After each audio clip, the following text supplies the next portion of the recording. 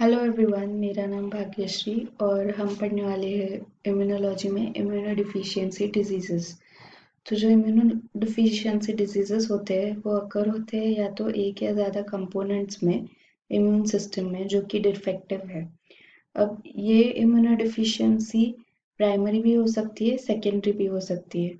और ये क्यों होती है? तो एक डिफेक्ट होता है एक या दो जीन्स में, जो कि इन्वॉल्व होती है, जो जीन्स होती है, वो इन्वॉल्व होती है डेवलपमेंट में या तो फ़ंक्शन में इम्यून सिस्टम के।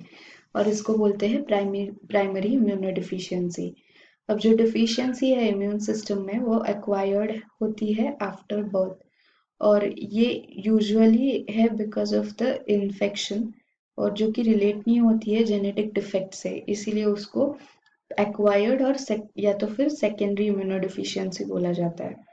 तो एग्ज़ाम्पल क्या है प्राइमरी इम्यूनोडिफिशियंसी का?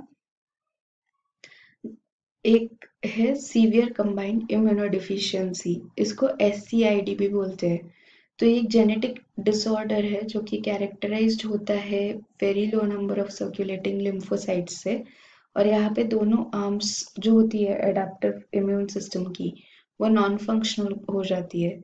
और इसमें क्या होता है कि जो पेशेंट्स होते हैं, वो specific T cell dependent antibody response पे भी डिपेंडेंट नहीं रहते और सेल मेडिएटेड इम्यून रिस्पॉन्सेस पे भी नहीं रहते। तो मतलब ये बना ही नहीं पाते T cell dependent antibody response या तो फिर सेल मेडिएटेड इम्यून रिस्पॉन्सेस और फिर इसकी वजह से क्या होता है, वो डेवलप नहीं कर पाते इम्यूनोलॉजिकल मेमोरी तो जो सेवरल डिफरेंट डिफेक्ट्स है, वो लीड करता है S C I D phenotype पे। अब जैसे कि X linked S C I D है X linked severe combined immunodeficiency है, ये कॉमन फॉर्म का होती है एस सी आई डी में। और यहाँ पे टी सेल्स क्या होते हैं, ये फेल होते हैं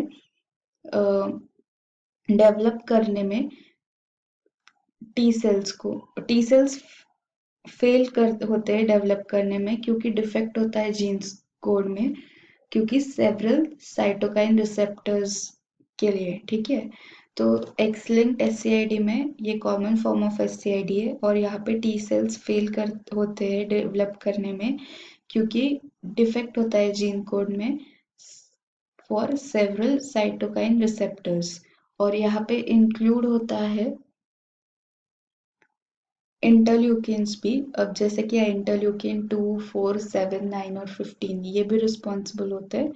और जो autosomally inherited S C I D है, वो अकर होता है एडिनोसाइन डियामाइनेज डिफिशियंसी की वजह से ऑटोसोमली इनहेरिटेड और जो एडिनोसाइन डियामाइनेज है, वो कैटेलाइज करता है conversion of adenosine to inosine तो एडिनोसाइन आयोनोसाइन में बदल जाएगा। और यहाँ पे जो डिफिशियंसी है, वो रिज़ल्ट होती है एक्यूमुलेशन ऑफ़ एडिनोसाइन जो कि इंटरफियर करता है प्यूरिन मेटाबॉलिज्म के साथ और वो रिज़ल्ट करता है एक एक्यूमुलेशन ऑफ़ न्यूक्लियोटाइड मेटाबोलाइट्स जो कि पर्टिकुलरली टॉक्सिक है डेवलपिंग टी सेल्स से।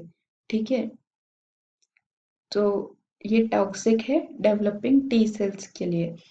तो ये रहा सीवियर कंबाइंड इम्यूनो डिफिशियंसी आगे हम इस लेसन को कंटिन्यू करेंगे।